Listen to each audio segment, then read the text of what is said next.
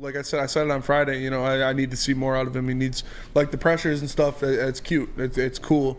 It's, it's a good stat for PFF to, to do. But sacks count. Pressures don't. I need. I, I want to see him get the court, and he knows it.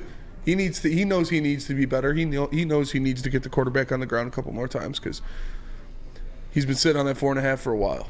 I still think there's value in actual pressure. Like uh, from what my understanding, and I, and I had to go back to find out. Everybody in the chat knows like the definition of a pressure per PFF. Is the quarterback breaks the pocket. I'm assuming. I mean, if anybody wants to find the exact definition of how they define their, their pressures, but I think there's still something to be said when you do rush a, a thrower into like a pass that they're, that, you know, they're off key with it. I, I think Hutch is giving you that, but I, I mean, you're right. A sack is obviously better than than those situations too, unless you try and come back at a game that stops the clock. But either way, when it comes to Hutch, I, I it's just so early, and I'm, I'm not like I don't feel good like making a, a final assumption on like who he is or what he's gonna be, especially like this soon. Maybe after like next year we'll have like a, a better idea, a more concrete idea. But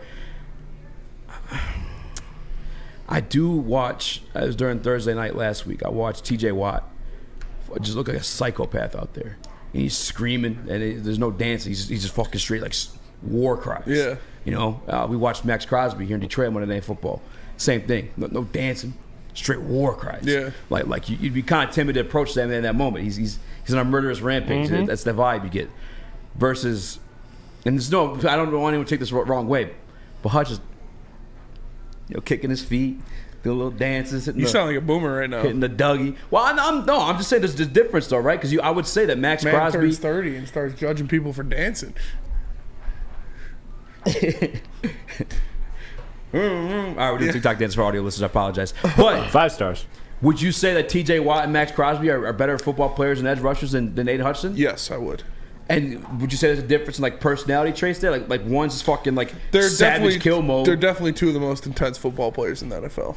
right? I just I, I don't know, and this kind of I guess would would coordinate with Clapping Cheeks comments a little bit too. I don't know that AG has any of those type of pieces yet. Like when I look at like the Eagles, like and granted, I obviously mean, Jack Campbell's kind of like that. he is intense, and maybe he develops into that at Yeah. some point. Like again, another guy too soon to speak on. But I don't know that AG has any tools that are that. Like they're just like fucking savage mode and, and great at what they do. Versus when I look at the Eagles, I can line up like three of those guys. Mm-hmm. Yeah, I don't know if they have any like anybody that's on that to par against these other teams, going head to head situations too. So I, I don't know. Maybe Hutch. I'm I not mean- blaming his lack of sacks uh, on dancing. No, I'm not blaming his lack of sacks at dancing. I'm just saying I think it's a mentality.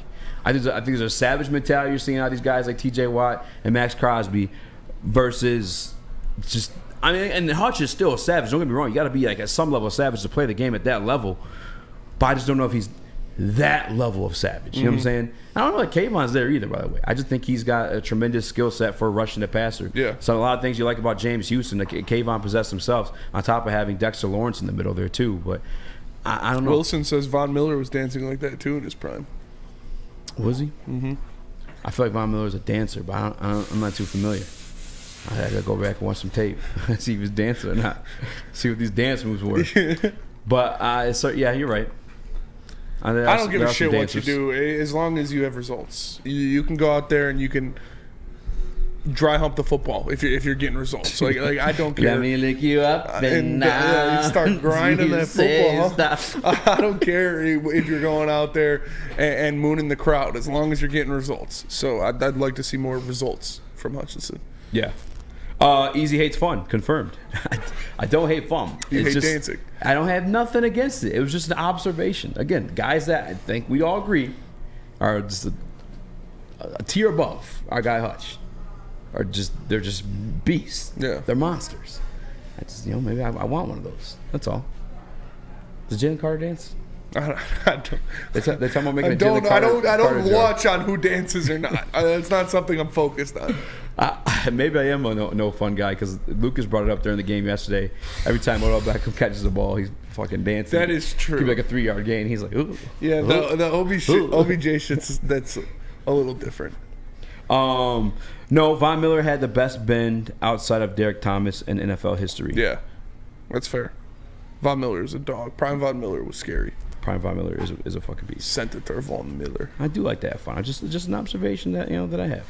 Um, and, I, and I get there's a lot of Michigan fans, a lot of Lions fans. You're gonna get butthurt when you make those comments, but it's not. I'm not saying setting anything in stone here. I'm just Making an ob- observation. Makes an ob- observations. Eazy's, Sure. Eazy's a no dance person. No, I love the dance. Don't get me wrong.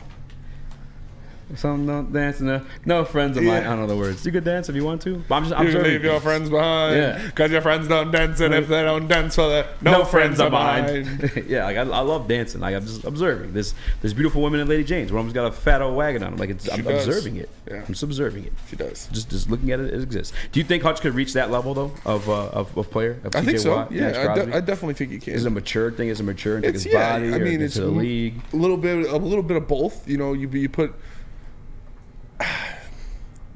like I said, you get more help on the interior and out of another pass rusher to where he can't be double and triple teamed every play. Mm-hmm. That'll definitely help. And it's also like a luck thing. Like a lot of sacks are, are luck things Yes, almost. Hutch had what four, three sacks against the, the Commanders. Yeah. and like three of them were like luck. yeah, It's like- where Carson Wentz just fell into, into him. it, Yeah. yeah. so it's it'll happen. I'm not, I'm not too worried about it. If he continues to do what he's been doing and continues to get these pressures that everybody loves so much, he's eventually going to get these quarterbacks on the ground. Chris, do you think that he'll be able to reach that the level of a Maxx Crosby, the level of a T.J. Watt? I'm talking about Aidan Hutchinson. As of right now, I gotta lean no. You know, like when when you look at somebody and you're comparing them to that caliber, I just feel like across all sports, it's tough. It's tough. the I man know you're gonna boo me. You're gonna boo me, but you know what? It's one of those things where when you're comparing to the elite. The elite doesn't happen for everybody. That's what makes them the elite. It's special. Like I don't fair. like to. I don't like to make those kind of jumps. I I don't like to make those kind of jumps. So as of right now, off of what I've seen, no, because the the biggest key to greatness is consistency, and right now that has been Hutch's biggest flaw. So I think he can have special moments, and I think he's absolutely proven that so far. But uh, and he has unique things like the interception thing is is crazy. Like that's a skill now. Like I'm chalking that up. Last season, I was like, wow, this is wild. This guy's getting interceptions. Yeah. But what he did this season, like that's a skill. And that's something that, you know, some of those other guys we mentioned don't really have on their resume. So he might just end up being a different player. I don't know if he can be that special though, but he is he is a damn good player and uh, one that you should want. I think Hutch can get there. Yeah, I, I, you know, it, maybe just be different. I mean, I don't Yeah. know. Again, I think he's a better football player than when it comes to comparison of Kayvon Thibodeaux. I think he's like that elk. He's always going to be there to make the smart play. He's always going to be there to defend the run. He's always there to set the edge. Where you look at Kayvon, and, and maybe I'm speaking ill on Kayvon. Maybe we'll have a New York guy to, to discuss it and break it down with us. I just feel like it, that's his job out there. You know, like Maxx Crosby, I mean, I understand everybody loves him as a pass rusher. He's never had a season over 12 and a half sacks. How many did Hutch have last year? Nine. Nine and a half. Maxx Crosby's rookie year, he had 10. And then his second year, he had seven. His third year, he had eight. And then 12 and a half last year, and now he's sitting at nine and a half, so he's probably going to shatter it this year. Yeah, he's- that's good. But that's five years into the league. yeah. That's five years into the league where he, he still hasn't. I mean, 12 sacks is good. 12 sacks is good. Yeah. But is nine and a half not good for a rookie? They, they are good. Yeah. So I, I have I have no doubt that Hutch is going to be at that level. Yeah. Go ahead, Chris. I just yeah, I don't want to make it seem like seem like he can't get there. That I'd be absolutely stunned. It's just right now, if you're asking me that question based off of what I've seen, I'm gonna again, I'm gonna kind of default to giving the elite players the benefit of the doubt and assuming that not a lot of players can reach that level. Does he have the tools? Absolutely. And you know, and and again, he's not even halfway, or he's just halfway through his second season in the NFL. So he does have tons of room to grow. So I'm not writing it off by any means, but I just I reserve the elites for the, for the elite. fair. So it's it's hard for me to make that kind of that kind of jump for him right now. I'm not. I'm not necessarily mad at that. I, and I guess speaking of elite, like again, I had to.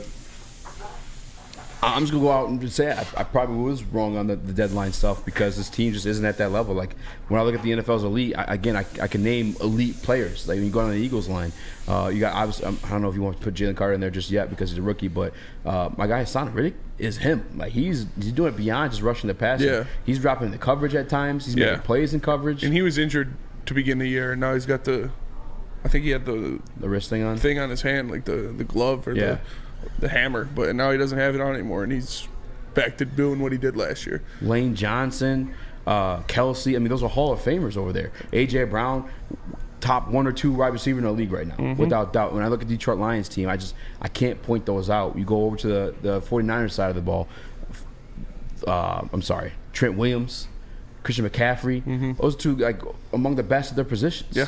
hands down. And again, I don't know the Detroit Lions have any guy that's the best of their position or in the conversation of being best of Yes. their position. Penei Sewell. Penei Sewell, Frank Ragnow.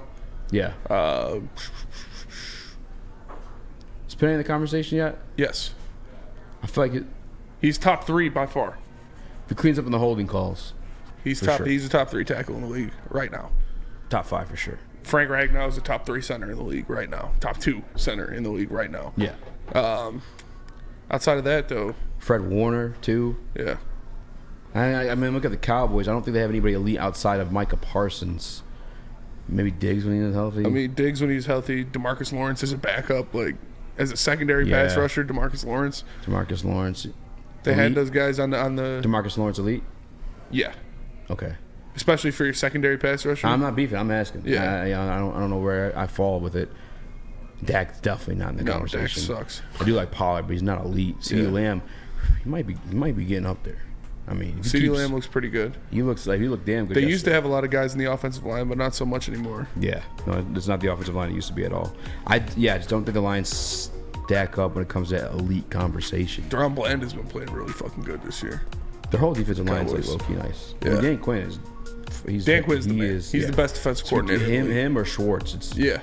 It's. T- I mean, honestly, I might even give it to Quinn. I don't know. Schwartz on a lot of places now too. Mm-hmm.